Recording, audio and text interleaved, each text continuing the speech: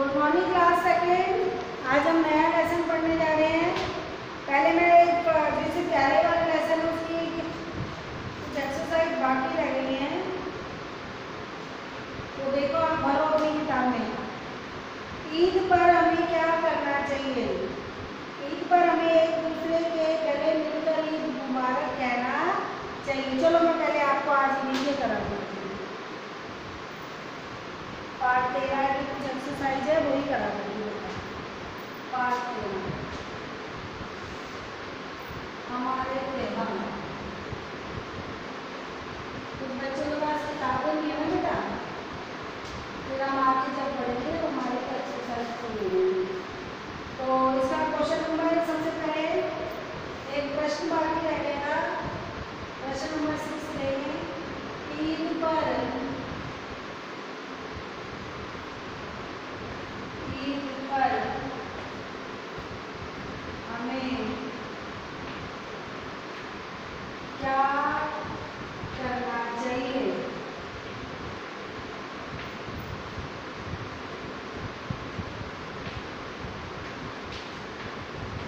उत्तर देखो उत्तर ईद पर पर हमें एक दूसरे के एक दूसरे के गले मिलकर मिलकर ईद मुबारक कहना चाहिए ईद ईद मुबारक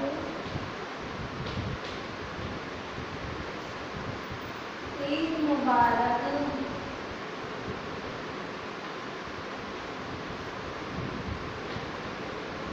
ठीक है ये क्वेश्चन रह गया था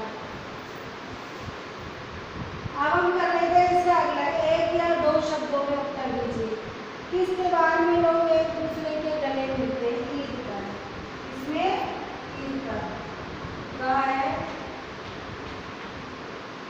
एक या दो शब्दों में एक या दो शब्दों में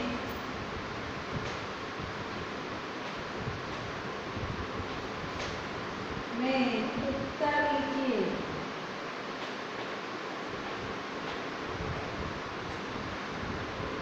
देखिए आप एक दो शब्दों में है। पहला है बच्चों नंबर एक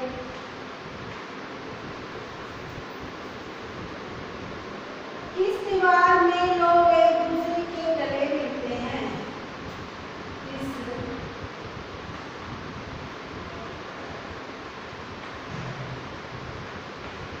त्योहार में लोग एक दूसरे के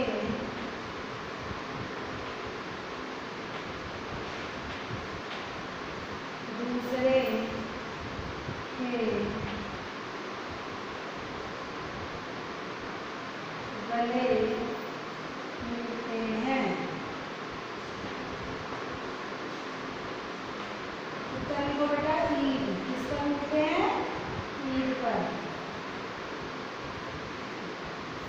अगला देखो किस त्योहार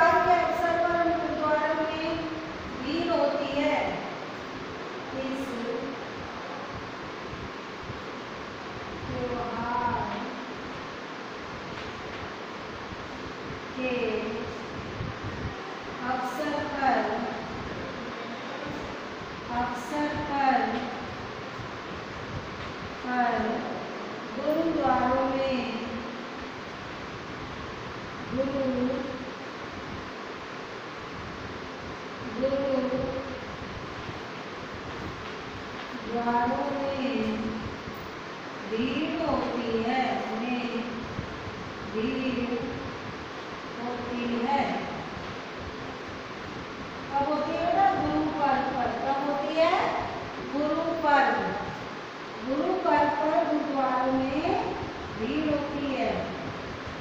आंसर में इसी को लिख रही हूँ। पर अगला देखो।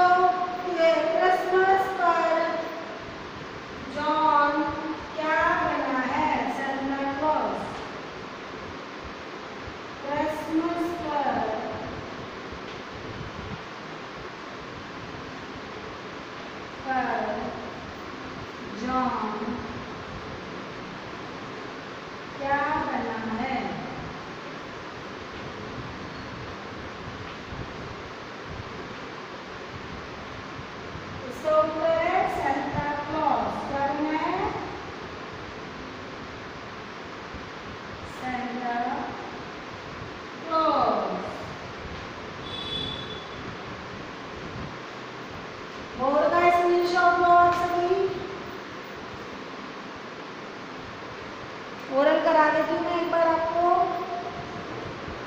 ईद पर हमें क्या करना चाहिए? ईद पर हमें एक दूसरे के गले मिलकर ईद मुबारक कहना चाहिए। क्या एक या दो शब्दों में उत्तर दीजिए?